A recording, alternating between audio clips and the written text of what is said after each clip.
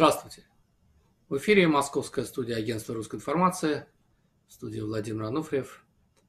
И сегодня, как обычно, наш гость Евгений Эдуардович Михайлов. Здравствуйте, Евгений Эдуардович. Добрый день.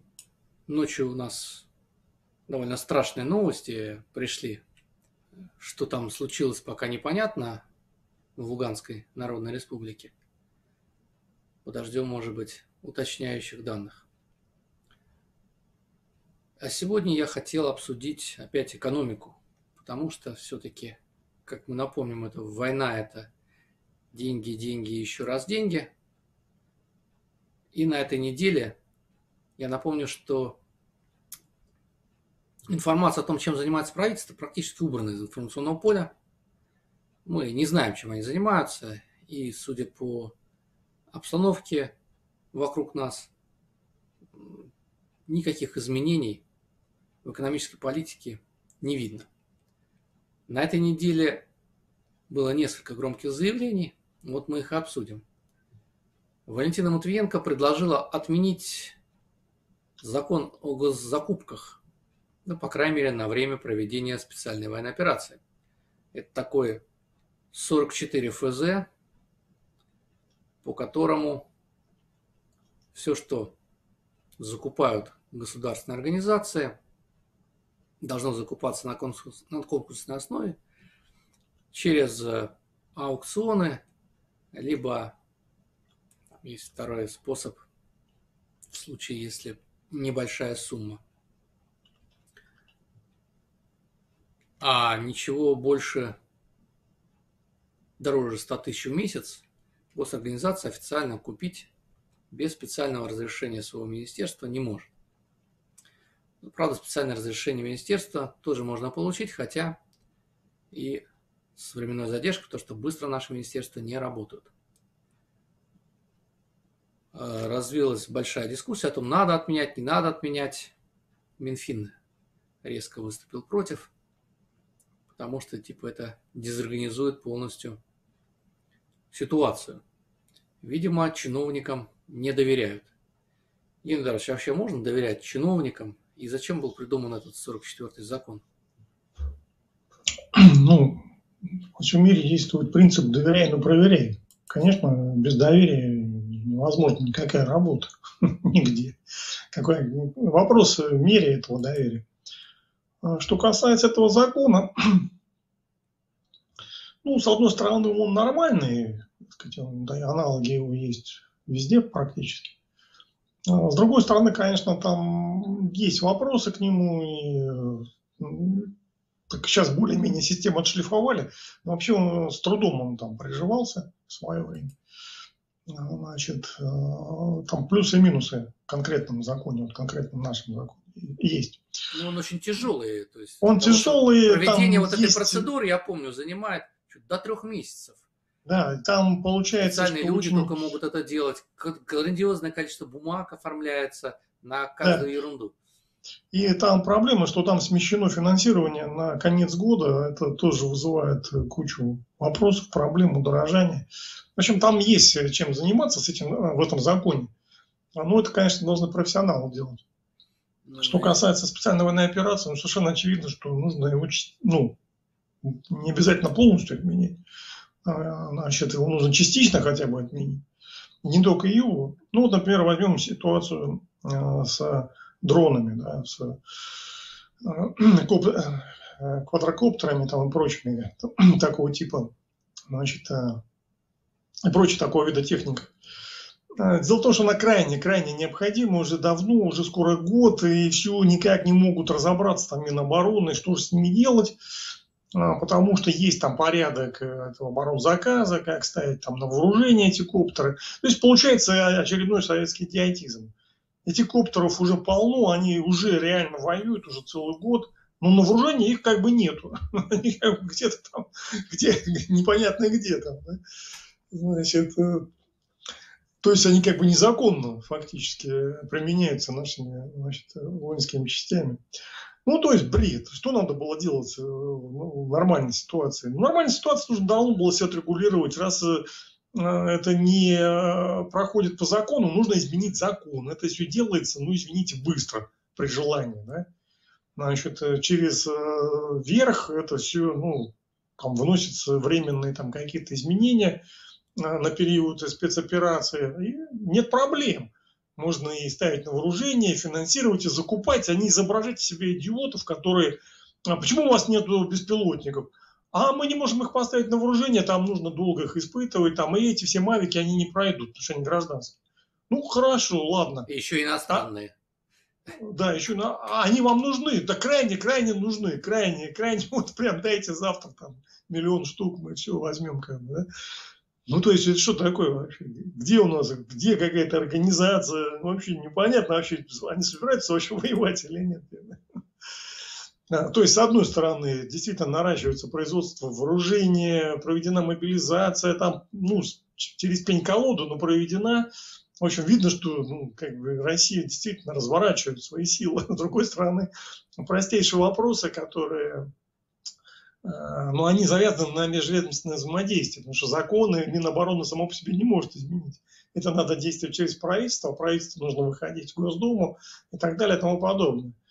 Все это можно сделать через президента, ну вот э, пока не делают. Э, ну, кстати, там есть, если брать конкретно беспилотники, там есть и обходные пути, даже без вмешательства президента. Есть администрация президента, она может там поручить закупать их, но если не Минобороны, то да, ну, само министерство богатых имеет, людей. Даже по этому закону само министерство имеет право закупить вне этого закона.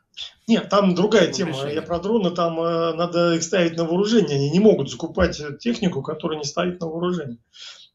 Как уже, если она стоит, они могут там, да, действительно рихтовать, э, значит, правила ну, не знаю, наверное, этим это делают, не готов сказать.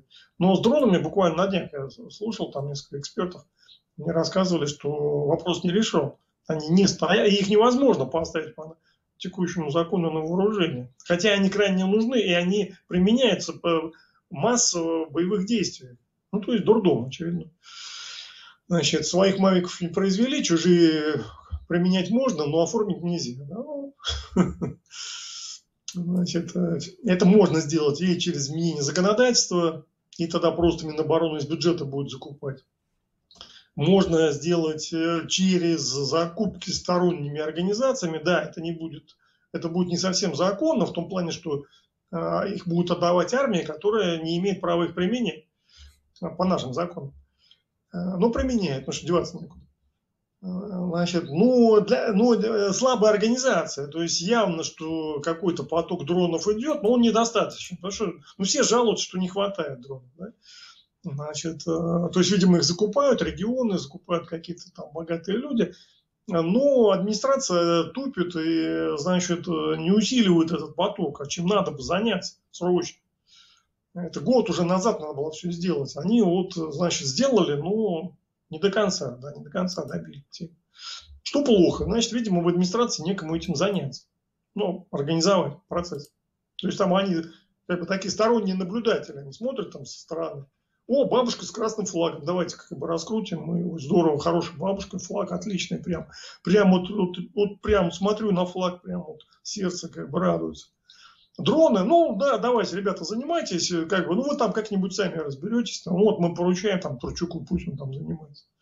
Ну, там ну, Турчука не хватает, не хватает, э, значит, авторитета для таких вопросов. Он же не пойдет там к олигархам трясти их там как осинку там, да. Значит, э, это должны делать люди, э, ну, которые посты занимают соответствующие.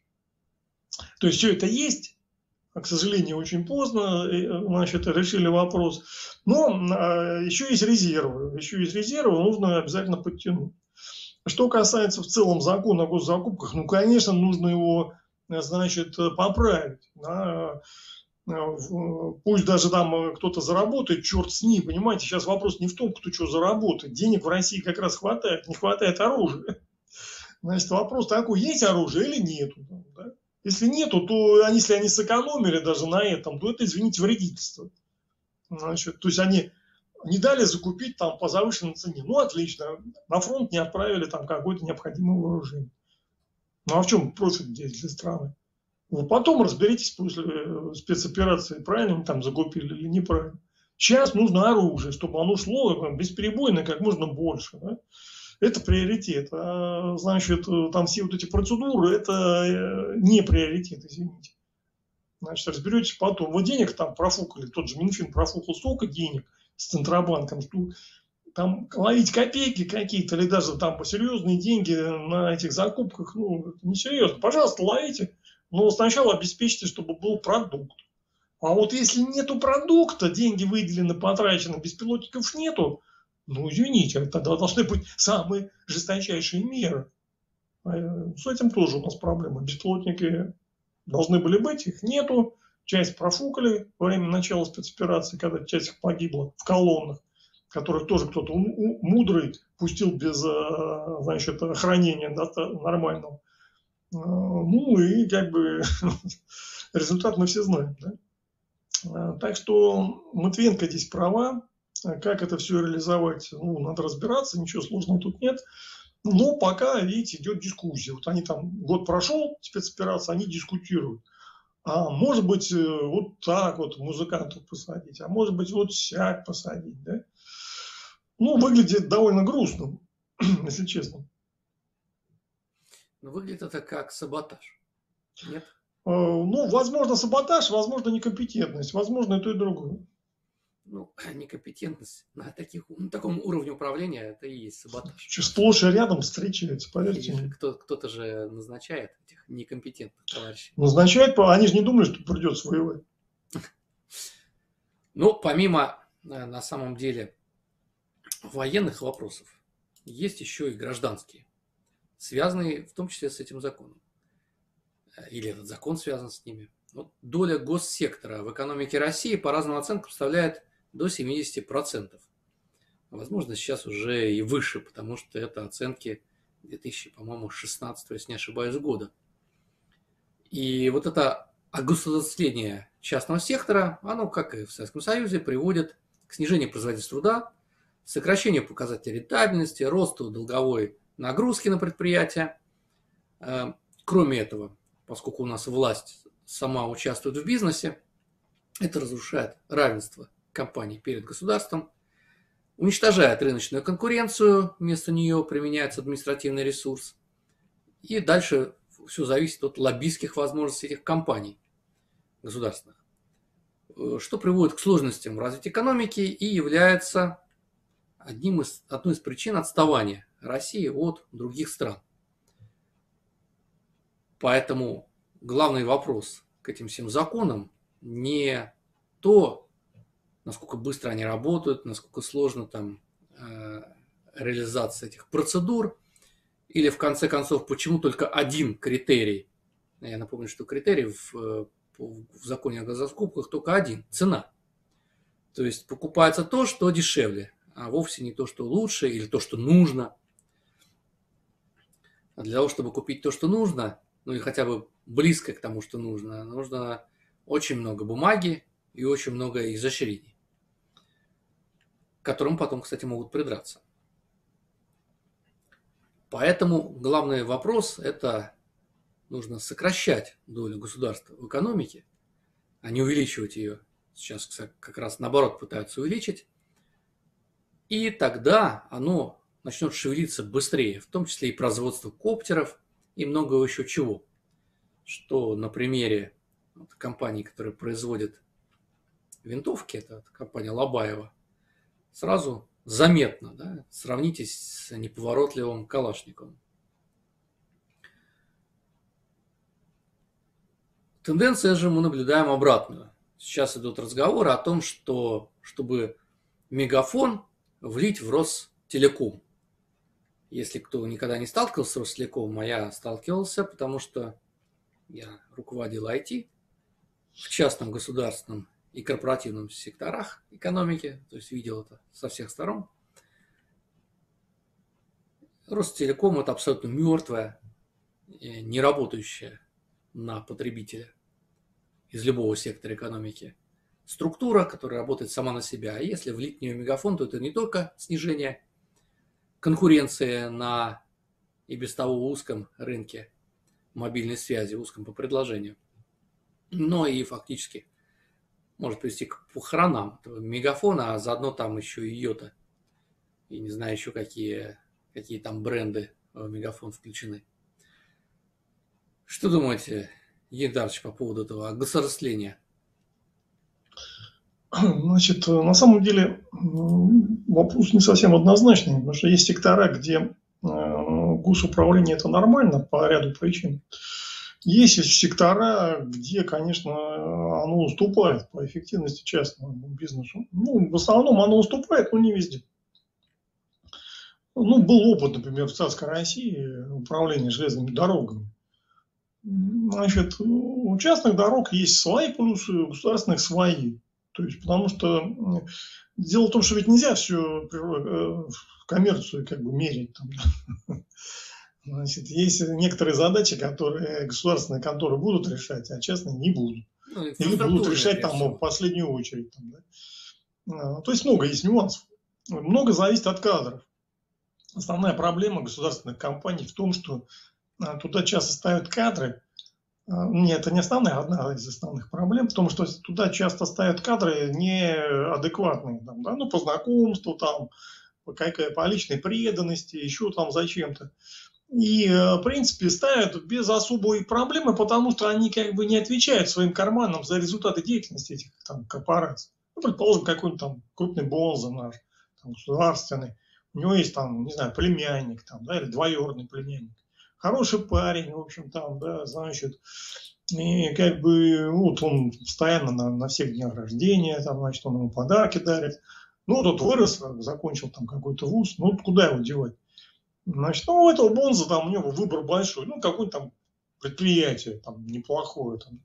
Он говорит, ну, давай мы тебя поставим там директором, там будешь командовать. А самое главное, производство не лезть, там есть инженеры, они там, а в бизнесе есть там, значит, отдел там коммерческий. Это особо не лезь, как бы, учись пока. Ну, человек приходит там, ну, и в зависимости от его, как бы, уровня его испорченности, он начинает, как бы, командовать. Значит, если человек нормальный, ну, он в конце концов там более-менее командует. А если человек не очень как бы, компетентный, то он начинает ломать дрова.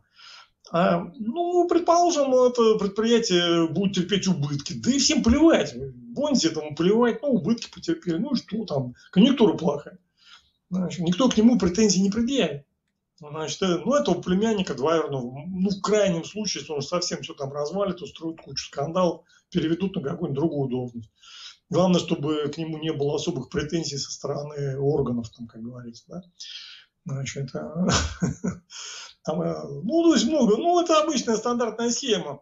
В частном бизнесе такое тоже бывает, но гораздо реже, потому что собственник, если он поставит дурака там командовать, даже родственника, то он потом сам же отвечает своим карманом.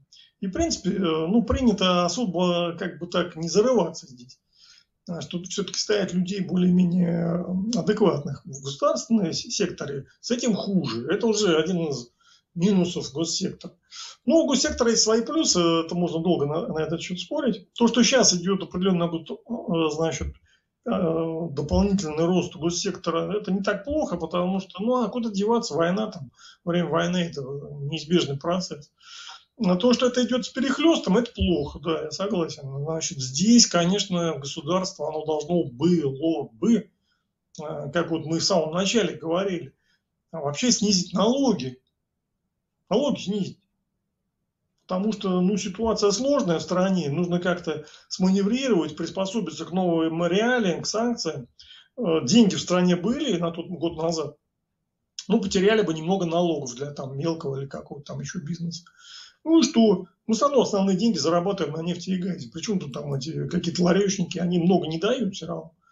Поэтому такой маневр, конечно, нужно было сделать, да и сейчас еще не поздно. Ну, вместо этого делается наоборот. В прошлом году дособрали или как, доначислили 700, что ли, миллиардов налогов. Ну, это сумасшедшие. Там, ну, а, там, То есть, нет, фактически принципе, задуши, как... задушили и без того, в общем, еле теплящиеся. Ну, не то чтобы задушили, там, на самом деле, там разные процессы идут сейчас в экономике, мы это можем обсудить. А, но само направление мысли, оно ну, дурацкое.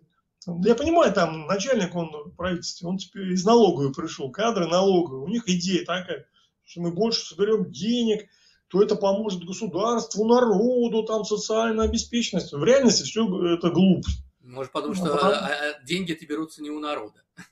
Ну, они берутся, значит, э, не бизнес дает, конечно, такой мелкий, средний дает, конечно, кое-что. Кое бизнес это и есть народ. Э, не совсем, но неважно. Значит, это, кажется, лучше люди города. Хуже народа, лучше люди города. Э, так вот, ситуация сложная для народа, для бизнеса. Увеличивать налоговый пресс в этой ситуации нужно в крайнем случае. У нас этого в крайнем случае не наблюдается мы получаем огромные э, значит, поступления нефтегазовые. Раньше они вывозились там, через Центробанк, и, значит, вкладывались какие-то ценные бумаги, где там и загинули. Деньги-то пропали, извините. Значит, э, какой смысл было собирать с населения деньги, если потом это все вывезли за рубеж, а это все там загибло, как бы. Ну, так и Понятен смысл для Запада был в этой схеме. Тормозить развитие России. Ну, затормозили, хорошо. Значит, сейчас у нас другая ситуация во-первых, сложно даже вывозить эти деньги. Там Минфин пытается Центробанком там что-то придумать, занять денег зачем-то. Значит, э, ну, не очень ну, получается, но не очень, не так, как раньше. Нет прежнего размаха. А, а деньги все равно есть. Фонды там у нас накоплены большие. Ну, вот, конечно, для переходного периода нужно было снизить налоги, ни в коем случае не повышать.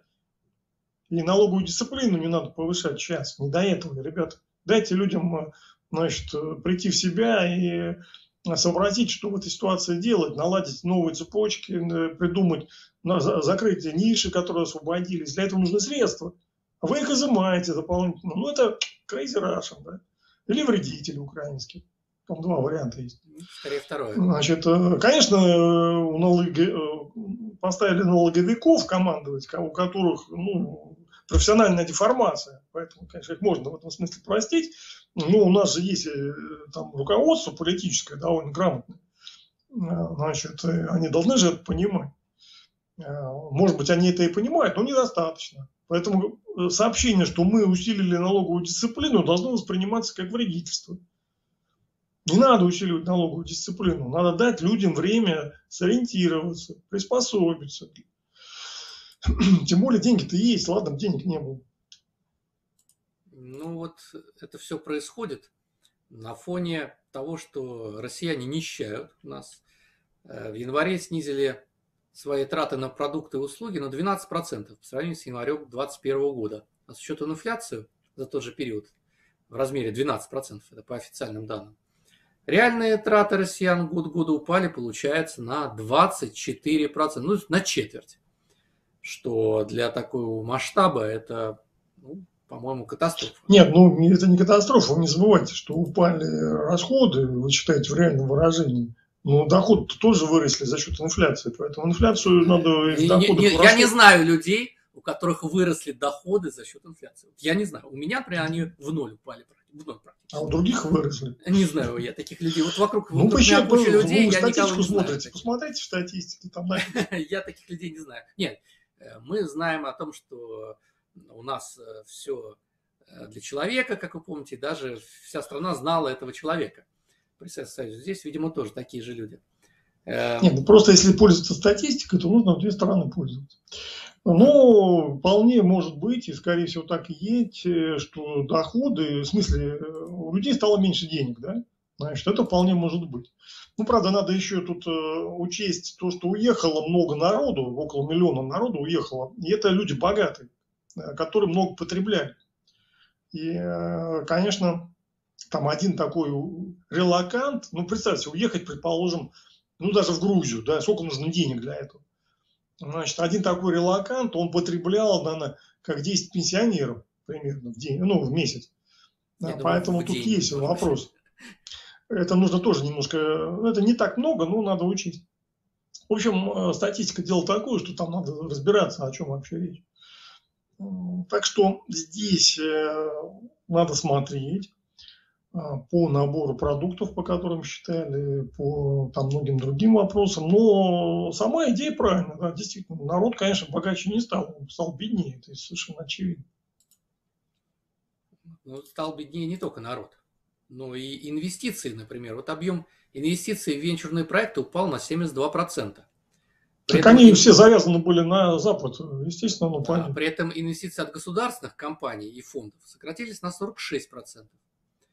В 2022 году больше всего по статистике денег получили проекты по разработке программного обеспечения для операционной работы бизнеса, ну это для замещения, да, импортозамещения, транспортно-логистические сервисы и решения в космической сфере. Это сейчас для нас очень важно. В это же время НАТО создало фонд размером в 1 миллиард евро на поддержку стартапов, частных, естественно, в военно-промышленной области. Тут к вопросу разницы подходов. То есть собираем деньги э, ради якобы инвестиций, инвестиции при этом падают наполовину, частные инвестиции на 72%, но это, считай, их практически нет уже. Э, что дальше-то? Да нет, дальше все нормально, если все правильно делать. Если все делать неправильно, все будет плохо, ненормально. Ну, пока что мы по статистике видим, что все. Пока плохо. год прожили, ничего критичного не произошло, и слава богу. Там, на Западе ожидали более серьезных последствий от э, санкций, от всего прочего. Поэтому это большое достижение. Можно там похвалить правительство, хотя это их не основная там роль. И ЦБ то же самое. Ну, как бы им помогли, скажем так потому что основной источник наших доходов, нефть, газ и прочее сырье, а мы смогли, а выросли в цене, и мы их смогли продавать по нормальным ценам. Это зависит от тех, кто покупает, покупателей наших, этих, нашего сырья. Раз они покупали, то они, в общем-то, и сохранили стабильность. Если бы этого не было, конечно, ситуация была гораздо хуже. На будущий год, ну, в смысле не на будущий, на текущий год, на новый, э, ну, ситуация вряд ли кардинально изменится, кто бы там что ни говорил. Ну, цены что... на энергоносители упали для нас. Ну, упали, тоже. ну, насколько упали? Все равно цены комфортные. Ну, они были ниже гораздо еще не так давно. Я помню 90-е годы, извините, по сравнению с ними цены заоблачничали. Значит, там нефть доходила до 9 долларов наш это, Юрлс. Бренд, по-моему, по 10-12 продавался. Значит, это момент такой, ну, когда дна достигли. Ну, понимаете, ну, даже если с учетом инфляции долларовой, она тоже была за 20 лет, значит, то где-то, ну, на нынешние деньги там 15-20 долларов стоило.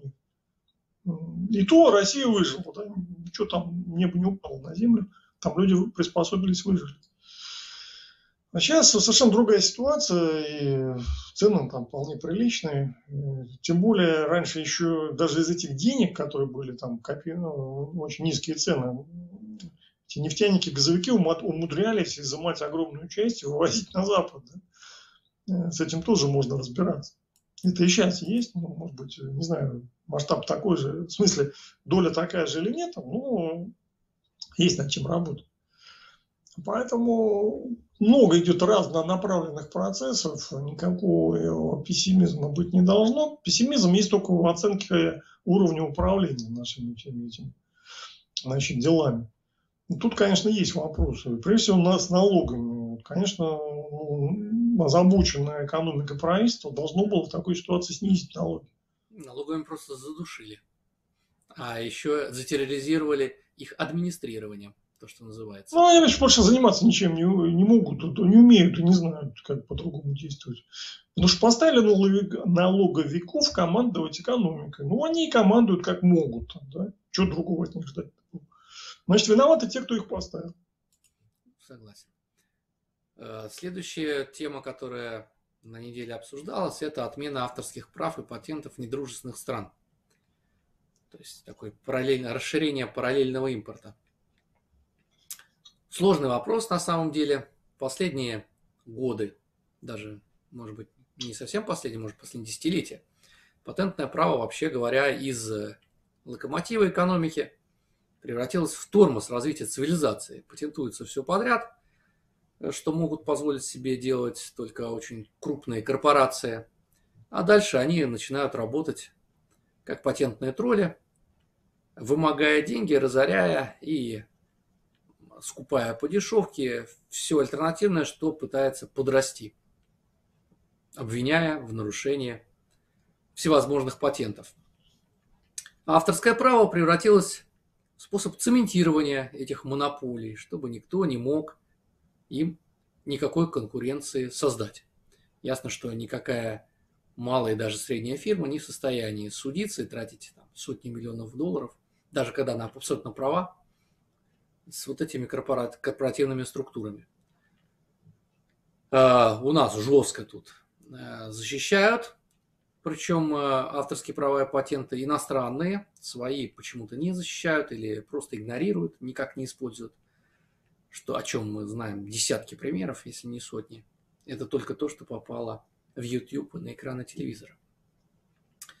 Ну, в частности, вот пытаются добиться разрешения кинотеатрам демонстрировать фильмы без согласия правда, правообладателей, которые просто отказали кинотеатрам нашим в продаже своих изделий. А также в случае истечения срока э, действия лицензии на программное обеспечение, например, тоже формально компании не могут работать с ним. И стоит вопрос о том, чтобы разрешить компаниям работать на ПО с истекшими лицензиями в случае отказа правообладателя от продления. Этот вопрос также подвис. Что с этим делать? Да все понятно, что тут делать. Значит, э, а то заставляют ну, еще э, платить деньги на какие-то там счета непонятно чьи, понятно кому. Э, в качестве компенсации этим правообладателям, которые отказываются продавать что-либо. Удивительная вообще вещь. Ну, это, конечно, действительно удивительно все это читать. Значит, Запад ведет с нами войну. Холодную, слава богу. Да? Почему? Она уже вполне горячая. Вот посмотрите, там сообщения, которые у нас бегут в ленте. Э, размещение, например, извините меня, управляющих систем для управления войсками на своих серверах. Ну, вообще, это прямое участие в войне, разве нет? Ну, не совсем там, да. Значит, предположим, Советский Союз отправил своих специалистов во Вьетнам, там, да, технику. И даже они участвовали в боевых действиях. Ну, как бы, да, была тема, но, так сказать, Соединенные Штаты предпочли это не заметить. Правильно ну, сделали. Это другой вопрос, что они предпочли. Да, поэтому это такое это элементы участия как бы, в военных действиях, боевых действиях, они есть, это враждебные действия для нас, но реагировать на них надо спокойно, без, без паники, без шума и пыли. Что касается экономики и вот, вот этой сферы интеллектуальной, они действительно ведут с нами войну, ну, начиная с детей там несчастных, там вот этот Steam заблокировали, дети не могут купить игры, как бы, значит, поиграть в игрушки, как бы, до детей добрались эти американцы. Значит, наглые рожи а, а, создали мировую, ну, не монополию, но такой глобальный как бы ресурс. Steam, монополия, значит, это и есть монополия. А что это такое? Ну, не совсем там есть конкуренты довольно неплохие. Но, тем не менее, это факт. У них они как бы передовой такой ресурс. Steam отличный, очень хороший. И вот они его заблокировали для, для русских. А, соответственно, мы должны контрмеры э, принимать. Надо объявить все вот эти фильмы, все программы из враждебных стран э, трофейным имуществом, захваченным в ходе холодных боевых действий. Как бы, да? Конечно. И все, трофейные, ну, наши же крутили после войны трофейные немецкие фильмы. Никто же не платил там немцам там, за интеллектуальную собственность. Э, значит. И все, да, ну, вот, ну, объявили на войну санкционную ну, попали как бы ваши вот продукты к нам в плен там. Мы это считаем их трофеями. Все, до свидания, как бы, да. Да, чем Подпишите это, мирный это... договор, тогда будем разговаривать. Извините, они у нас деньги забрали там. Э, ну, я говорю, что да, война смешно. идет, а, значит, поэтому э, удивительно все это разговоры насчет того, что нельзя там показывать фильмы, нельзя там пользоваться программами. Люди живут вчерашним днем. Они живут вчерашним днем политически, то есть не понимают, что сейчас другая совершенно политическая обстановка. А, с другой стороны, они живут э, ну, как бы социально, экономически вчерашним днем. Э, действительно, раньше в Советском Союзе очень, э, с одной стороны, легковесно относились к копированию, да, там не, часто не платили за лицензии, хотя ну, там по-разному было. Когда там, в одних случаях платили, в других там нелегально копировали. А, и это было плохо в той ситуации, плохо. А, в целом, хотя иногда там, может быть, и надо было. А, потом внутри страны тоже этим за патенты платили копейки. Значит, изобретателям платили копейки, ну, какие-то там наиболее выдающиеся там что-то зарабатывали, а остальные, в общем, так почти ничего не получали. Это тоже было плохо, потому что это плохо стимулировало и изобретательство, а еще хуже внедрение этих изобретений. То есть здесь э, такая вот диалектика, что когда ничего не платят, то и относится к этому, ну так, спустя рукава когда заплатил денежку за патент, уже начинаешь думать, если я его купил, то надо, чтобы он что-то делал, этот патент, правильно? А не просто лежал там в шкафу. Поэтому такая психологическая диалектика была в Советском Союзе, что вроде бы если ничего не, э, патент ничего не стоит, то как бы это, по идее, должно стимулировать производство, да, внедрение в жизнь. А по факту получалось ровно наоборот. На Западе, где патенты стоили деньги, все внедрялось э, гораздо быстрее, чем у нас. Ну, это один из элементов, там были другие, естественно. Там плановая система, э, основной элемент. Э, ну, как-то введение вот этого всего ужесточения, оно, по-моему, мало, мало способствовало у нас внедрению инноваций. Нет, здесь был такой момент, значит, это, это была неправильная ситуация раньше, там, десятки лет назад. Советский Союз тут вел. Ну, а сейчас то же самое, что тоже сейчас, то, точно так же проблемы да, с внедрением инноваций. Значит, э, договорю. А, тогда, значит, был перегиб в ту сторону. Поэтому его, конечно, нужно было устранить. Люди за интеллектуальную собственность, наши зарубежную собственность надо платить. И это нормально. Ну, например, возьмем игры. А, раньше, там, 90-е годы, никто не платил ни за какие игры, все покупали взломанные там игры, наши, западные. Ну, для того, для того времени, когда все были бедные, это было нормально. Потом постепенно все привыкли платить. Ну, не все, но большинство. Они покупают, ему просто удобно. В Steam купил там, или Epic Games Store, или еще где-то. И спокойно играешь там, да, или оплатил там MMORPG, значит, там, месяц, год, там, и тоже спокойно играешь, не ломаешь себе голову. Доходы выросли, люди могли себе это позволить, и значит, вот это пиратство, оно резко сократилось. Но сейчас нас вынуждают стать пиратами, с одной стороны, потому что нам запрещают нормально платить.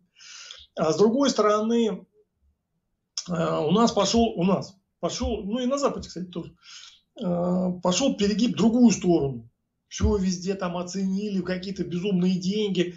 Хочешь пользоваться, там песенку прокрутить там или э, полминутки фильма прокрутить где-то, взять там кусочек, да, давай плати там, давай то, давай все, как бы. Ну, перебор тоже. Как бы. Поэтому пираты, вот не зря на Западе возникло такое пиратское движение. То есть Пиратская западные элиты, они стали, ну там партии, там, да, да, значит, они, они придумали эти партии, стали смотреть, а вот народ же как бы, вот как вот будет реагировать на эти пиратские партии. Они действительно неплохо там популярность приобрели на Западе. И это был запрос времени, это было лет там 10 назад, там 15-10 лет назад. У нас даже там что-то там изобразили, но у нас сразу поставили каких-то чекистов, там, девчонок, там, значит, которые все это дело угробили. Поэтому пиратская партия в России не взлетела. Но сейчас время как раз для нее, для пиратов. Значит, э, и правительство, и Дума, они должны помочь людям э, разобраться в этой ситуации. И это поможет и экономике в целом. У нас перегиб в сторону значит, ограничений получился. И что плохо, действительно, основные бенефициары этого перегиба на Западе. Наши местные не так много получили. У нас там есть несколько примеров, но это в основном там, в шоу-бизнесе, в таком вот, в, это, в этой отрасли, да, там авторские права, там, значит, что-то люди как бы, э, значит, более-менее шевелились. А за в остальном, как бы, ну, получше стало, чем было, ну, не очень. Да? В основном выиграли западные правообладатели. Сейчас нужно как раз время для того, чтобы это все поправить по нашим, может быть, не надо там трогать, э, пусть они будут, ну, за исключением шоу-бизнеса, там есть переборчик. А, а вот э, что касается западных правообладателей, ну, их нужно щемить по всем линиям, как бы, да, ну, культурно, культурно, там, значит, без фанатизма, э, без зверства, ну, щемить конкретно там, да, что, а что это они так себя ведут, ни хрена себе, значит, мы им там деньги платим, Извините, война у нас не открыта, санкции вообще их все незаконные, если так разобраться. Поэтому... Да, они полностью нарушают норму ВТО, между прочим. Ну, там и по многим линиям, и с агрессией, там, признанием наших действий агрессии тоже там куча проблем есть. А конфискация, а конфискация денег нас... там это вообще нарушает все договора, по-моему. Да, тому они тоже они действуют абсолютно незаконно. Даже там, где вроде бы выглядит законно. Я уж не говорю про грабеж и, значит, прочие ограничения. Даже их квалификация наших действий, она тоже как минимум спорная. Поэтому что, а, любое нормальное правительство трактует любой закон, любой договор в свою пользу, а не в чужую. А здесь трактуют в чужую пользу. Что ну вот и странно. Я говорю, что удивительные люди как бы находятся. Очень большие вопросы возникают к тому, кто... Ну, видимо, есть какие-то очень весомые зеленые аргументы, которые как бы вот работают в этом случае. Ну, на самом деле официально объясняют это тем, что если мы сейчас вот э, прекратим здесь соблюдать эти права э, наших партнеров, то у нас вообще становится экспорт э, на Запад, потому что будут каждую деталь от нас идущую проверять на соответствие всем. А что у нас за экспорт на Запад? А, а я тоже удивляюсь, нефть они собираются проверять, что ли? Молекулы, смешные, там, смешные объяснения. авторских прав каких Смешные объяснения. Что у нас такого сложного продается на Ничего у нас сложного не продается. Значит, это все бредни. Ну, пусть проверяют. А что там? Нет, так, извините. Там, где люди сохраняют действия своих там патентов и прочее, так они должны сохранить, пожалуйста, пусть сохраняют. Ну, как бы без зверства, я же говорю. А там, где они говорят, слушайте, вы не имеете права пользоваться тем-то, тем-то, там, но так они сами отменили, что, вы, что вас будут проверять? Они вас и сейчас проверят, что вы пользуетесь их патентом незаконно. Да, с тем же успехом, нарушаете санкции. Да, так еще больше успех, потому что вы не... Понимаете, а, дипломатия – это улица с двусторонним движением. Когда вы позволяете ехать в одну сторону, то вы всегда проиграете. Да, такое ощущение, что игра в одни ворота идет. Ну, такого нет впечатления, но элементы вот такой игры, а часто вообще игры в поддавки, они на лицо и есть, конечно. В целом, я бы не так не оценил бы ситуацию, я так не думаю. Но элементы есть, да. Ну и вот следующий вопрос – это, опять же, большая дискуссия, крики и вопли. Э, отмена публикации декларации об имуществе для депутатов и чиновников. Частично уже отменили. А зачем это делается? Вот и в чем, в чем, собственно говоря, ну, мы понимаем, что у них в основном непонятно как заработано все. А то, что вываливается в открытый доступ, ну, вызывает отрыв часто. Ну, теперь все засекретить. Секретная собственность. Я напомню, что отношения собственности в обществе, вообще говоря, теоретически, они публичные. То есть непубличная собственность бывает только в воровских сообществах, больше нигде. Э, что ну, они там э, наверняка объясняют тем, что враги берут на карандаш всю их собственность, начинают с ней бороться, особенно за рубежом. Да не только за рубежом. Значит, там же полно народу, который под санкциями в Думе, в Совете Федерации. У них много собственности, есть производство. И получается, что эта публикация, они помогают э, там, ЦРУ там, выявлять. Как бы, да? Но это же все давно известно. Ну, все для ЦРУ, для ЦРУ там нет никаких, в общем. Нет, послушайте, ЦРУ нет. тоже не занимается каждым там депутатом, это просто невозможно. Значит, богатыми занимаются, конечно, а вот такой средней рыбешкой так особо нет. Э, общие какие-то данные собирает, а так вот там... Ну, и потом там же все обновляется. Раньше не было заводика, сейчас он его прикупил где-нибудь там в Крыму или там в Запорожье, да? Значит, и, э, соответственно, он попадает под санкции, этот заводик. Ну, то есть, какое-то обоснование там есть. Я, честно говоря, не разбирался. Политически выглядит плохо. Насколько это э, ну, чисто вот в плане секретности необходимо, не знаю. Думаю, что не особо. Согласен с вами, что, конечно, они все найдут, если надо будет. Значит, ну, это, помеш... это будет им затруднять поиски. Там не очень сильно, но затруднить.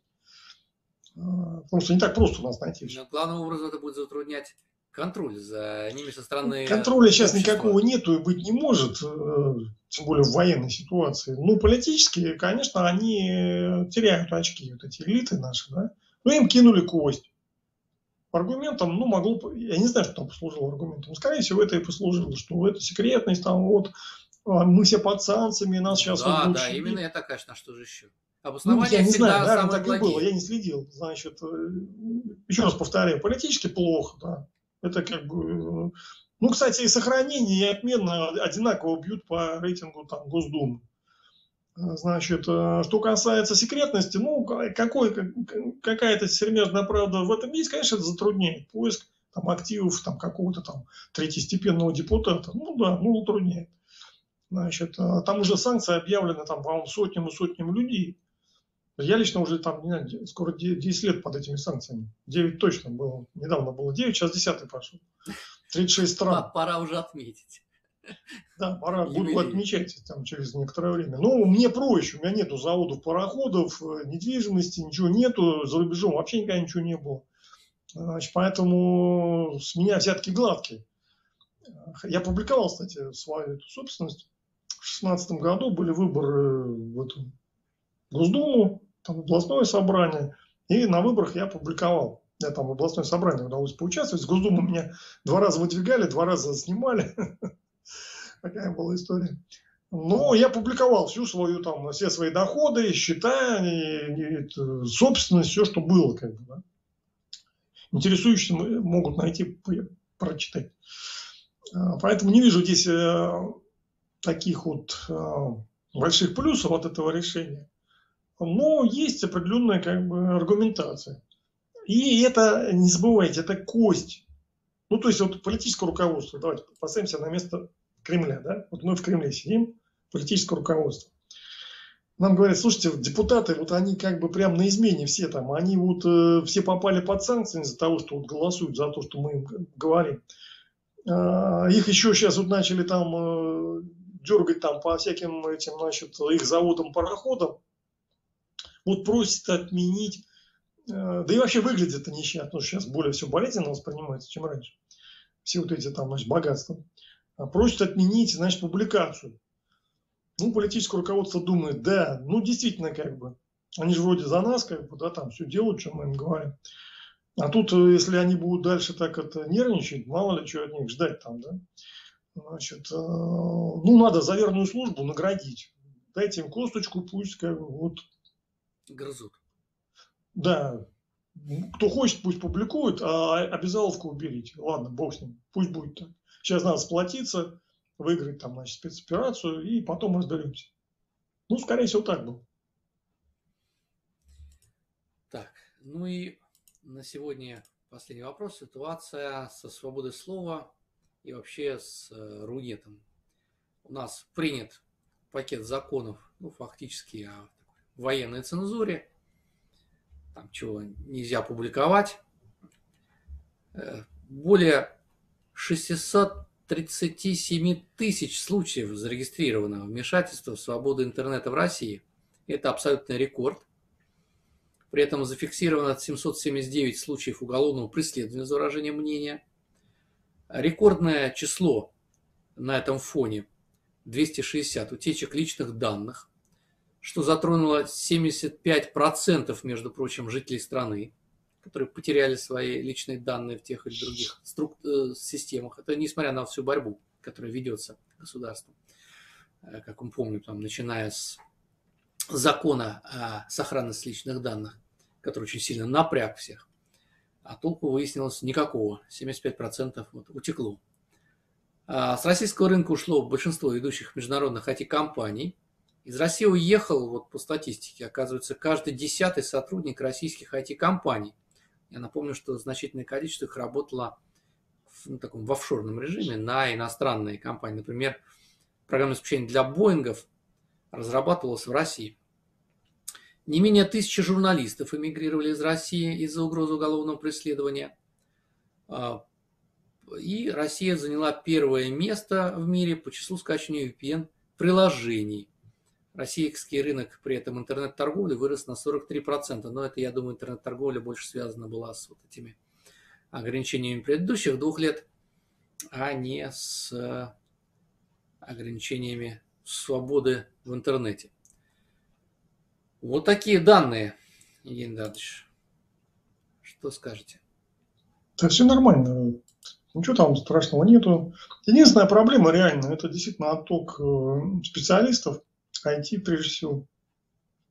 А, тут, конечно, не додумали, когда объявили все эти мобилизации. Надо было заранее продумать мир, и не просто продумать, а их, так сказать, реализовать, довести до людей, что их трогать не будут. С этим, ну, как у нас же через пень-колоду прошла мобилизация. Ну, самый такой вот яркий пример, это вот ситуация Герасимов признал, что, в общем, ошибки были это не просто ошибки, ну, дурь была. Вот это, вы поняли, это принесло ущерб, особенно вот эти IT-сектор. Не только IT, но в основном IT. Потому что журналисты разбежались, да это хорошо, здорово, как бы, туда мы дорога. Значит, ну, что в основном ну, там 99%, ну пусть 95% уехало людей, которые э, нам не друзья. Они по ряду причин, там, или за деньги, или по глупости, они выступают на стороне противника. Время войны, извините, как бы не может быть разногласий. То есть могут, может быть критика, там, ну, еще что-то. Ну, нельзя там призывать там, ну, возьмите Невзорова, да? Нельзя призывать э, там, становиться на сторону противника и радоваться потерям наших войск. Ну, ну, ну как бы, куда дальше-то? Значит, Он получил пускай... свои 8 лет заочно пока? Ну, я его знаю давно, 30 лет, э, так сказать, знаком. относился к нему, значит, конечно, так, э, специфическим образом. Но, конечно, я не думал, что он до такого дойдет. Значит, ну, у нас нормальные были отношения. Мы когда-то были соперниками на выборах. Он выиграл, кстати, значит, в 95 году. А, но отношения у нас были нормальные. То есть в таких личном плане никаких проблем не было. А, ну, его вот последние там выкрутасы, я, конечно, так это оценивал отрицательно. А уж то, что произошло после СВО, даже я не ожидал от него такого. Ну, к сожалению, так, к сожалению. Он человек действительно талантливый в своей, как бы, такой нише. Анфан Трибль а, журналистики. Он вот в таком, как бы, в чернухе, он, конечно, даст фору многим, очень многим. И в 90-е он был один из, ну, одной из нескольких мегазвезд значит, нашего вот этого СМИ. Я помню 60 секунд. Да, 600 секунд, 600, и не да. только. И потом, э, значит, потом у него была программа на... Березовский дал ему программу на, Первом канале. Он вел каждую неделю, кстати, во время выборов. Вот тоже была свобода, да? Извините, я, значит, с ним сражаюсь на выборах, а у человека программа, это программа 10-минутная каждую неделю значит, на Первом канале, а тогда смотрели, не было интернета же, смотрели только первый, второй, там, четвертый канал, все, больше ничего не смотрели. Значит, и у него там, значит, место производства Псков. В Обское, значит, дескать, делал эту программу для Первого канала. В Обское он там и не появлялся вообще. А потом, э, когда, значит, выиграл, он за 4 года, по-моему, ни разу не приехал. Обское вот. А, так что свобода бывает излишняя, да? когда идет конкуренция, а у противника э, монопольный канал в руках, ну, тяжело с ним конкурировать, согласитесь. Ну, это говорит, в общем, о вообще проблемах всей этой выборной системы, которая, которая фактически... Как Нет, ну сейчас запрещено работает. это, сейчас нельзя так использовать, нельзя использовать служебное положение такого типа. Значит, это давно уже запрещено. А тогда это было много, разрешено. Много чего ну, запретили и, в принципе, правильно сделали, иначе как бы вот сложно, о какой равенстве на выборах можно вообще говорить. А, так что с журналистами, и хорошо, что они уехали. Они тут только отравляли атмосферу. К сожалению, а многие из них, они вот, э, ну, по глупости да, уехали. Конечно, если бы там с ними нормально работали, и объясняли, что к чему, то, может быть, значительная часть их осталась бы. Но наше государство не занимать... хочет разговаривать с обществом, только через губу. Да, враждебную позицию. А так вот, э, ну, там, подкуп, значит, обман и э, там, неумение работать с ними. Со стороны Запада подкуп и обман, со стороны наших неумение работать. Ну, конечно, большое количество журналистов вынуждено было уехать. Под угрозой уголовного преследования, я их понимаю. Но я их не поддерживаю и считаю, что в данной ситуации это и хорошо, что они уехали. Потому что там на Западе они безвредны, от них там толку ноль для Запада. И вреда нам не очень много. И для России. А внутри страны, если бы они оставались, это был бы вред большой, кстати. Поэтому э, тут все неоднозначно. А что касается других сфер. Ну, насчет личных данных я всегда был против этих там ужесточений, именно потому, что это все бесполезно. Только дополнительная нагрузка на экономику. Да, только деньги зря там выкинули на эту всю ерунду. И нервы попортили люди. Значит, э, ничего это не работает, к сожалению. А, и было заранее ясно, что работать не будет. Но заранее было ясно, что все продадут оптом и в розницу. Но если люди продают базы данных, там, ФСБ, там, игру, что вы хотите от каких-то там личных данных простых граждан? Там, ну, это несерьезно просто. Ну, кто, кто эти решения принимал? Они заранее знали, что все провалится. Неужели вы думаете, что люди, которые лоббировали это, реально считали, что они смогут защитить личные данные? Они просто хотели выбить деньги с бюджета и все.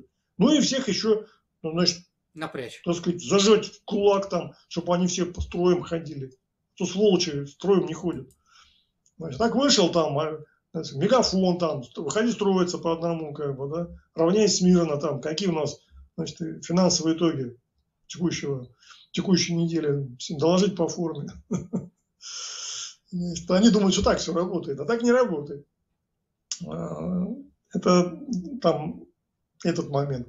Что касается военной цензуры, ну она необходима. Военная цензура необходима, она сейчас недостаточно даже жестко.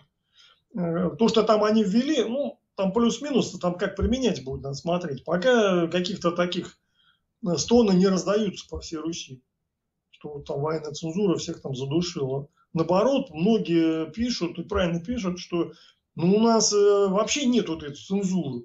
Если на Украине попробуй там напечатай снимок там прилета какой-то там ракеты, тебе тут же там э, вытряхнут душу.